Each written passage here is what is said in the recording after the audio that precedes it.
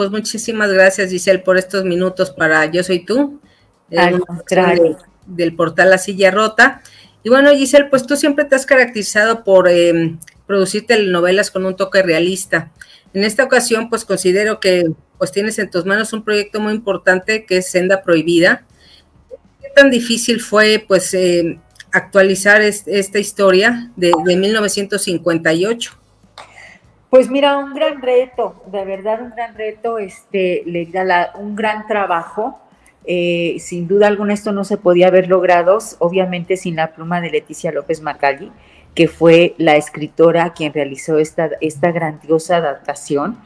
Este, Leticia tiene experiencia, ha sido escritora de muchos contenidos y, y de varias, varios contenidos para plataforma y una mujer muy comprometida, una mujer muy apasionada.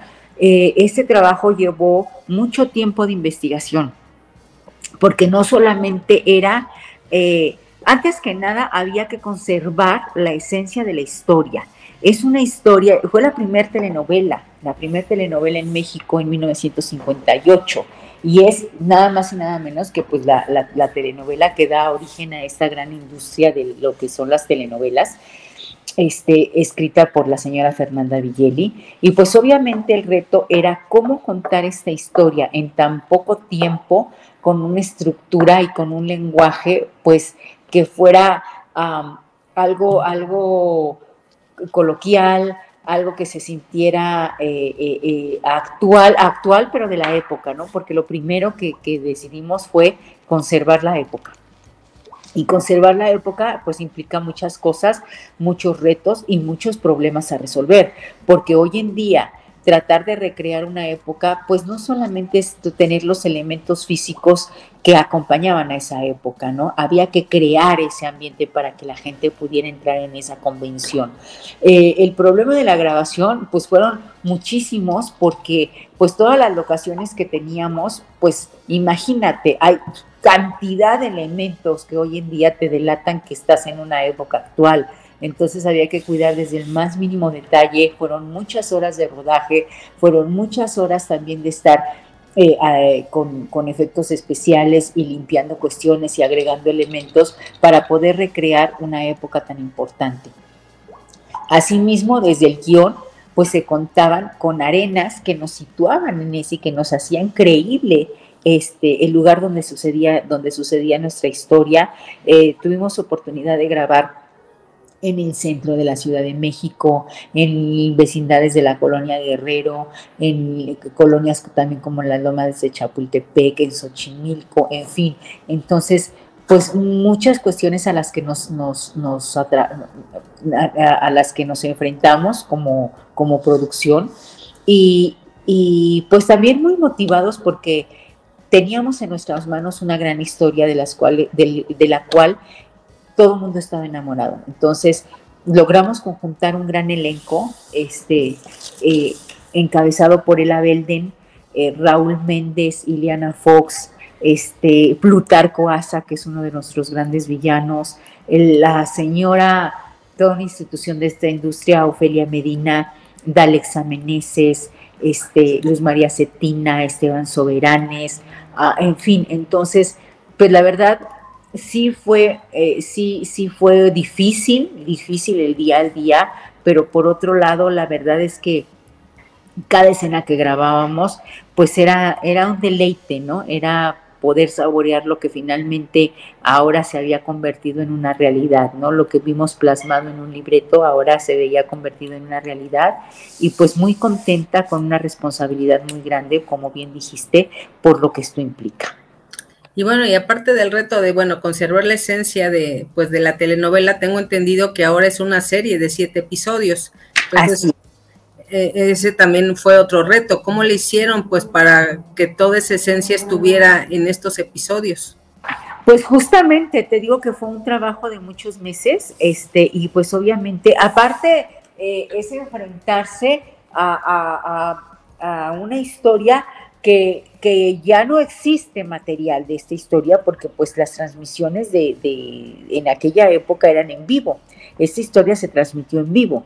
Entonces, por un lado, pues era, era pues mucha falta de, de, material, pero por otro lado también agradecidos porque ah, había que crear, había que partir de cero, este, no, no, tener esas referencias que a lo mejor nos hubieran ah, llevado, sesgado hacia, hacia, un, hacia un lugar diferente, ¿no?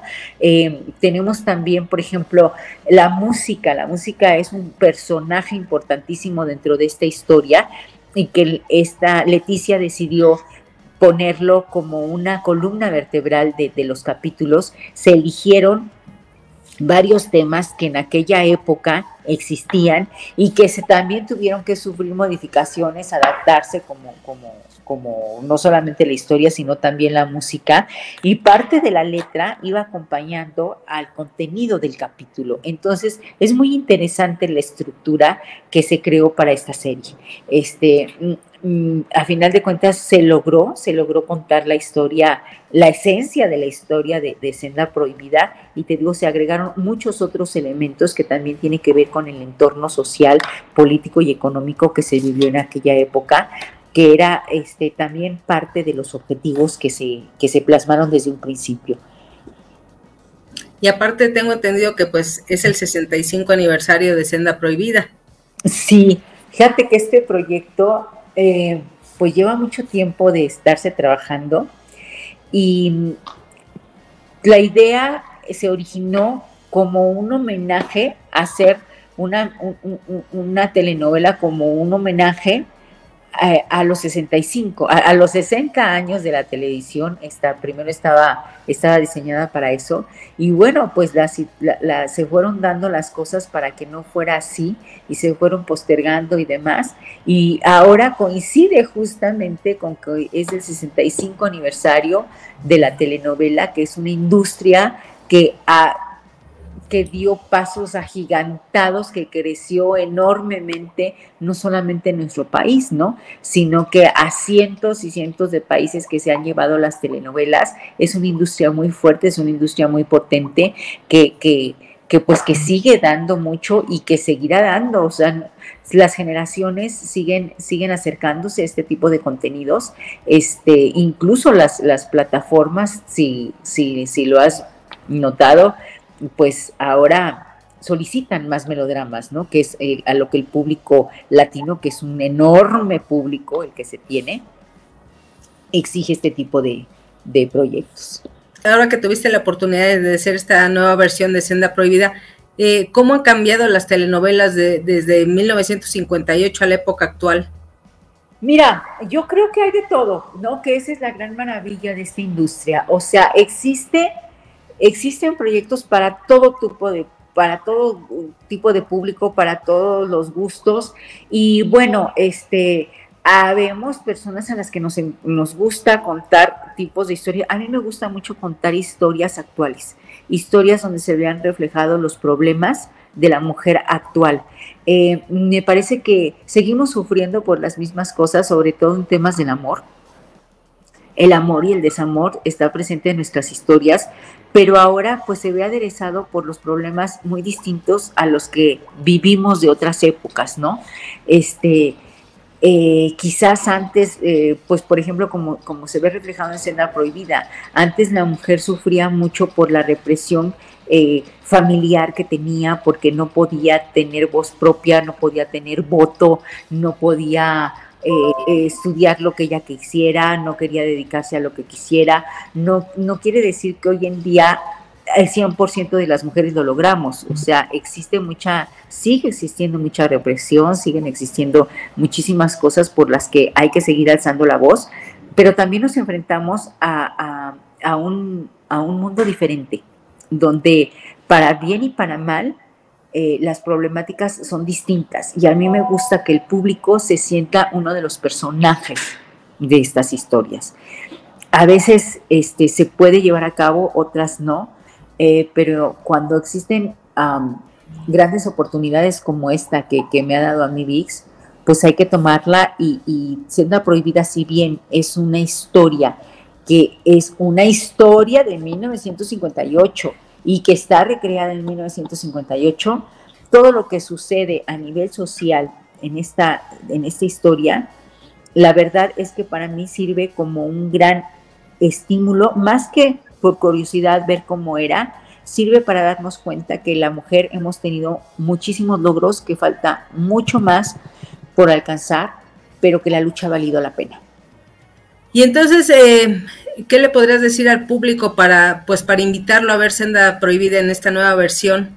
Pues que no se pierdan este, esta maravillosa, esta maravillosa historia este 23 de junio por VIX y que yo estoy segura que, que, es algo que podrán disfrutar mucho.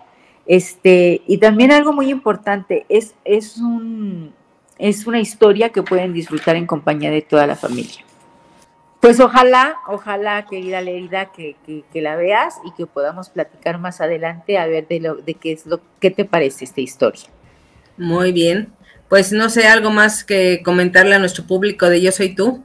Pues les agradezco mucho y, te digo de verdad, véanla, van a disfrutar de grandes actuaciones, van a ver este, grandes escenarios, van a disfrutar de, la música que de verdad les va a sorprender. También contamos con la participación especial de varios intérpretes que ya disfrutarán ustedes, este, interpretando estas canciones de hace, de hace varios años, ahora en, voces como eh, María León, por ejemplo y, estoy segura que la van a disfrutar muchísimo.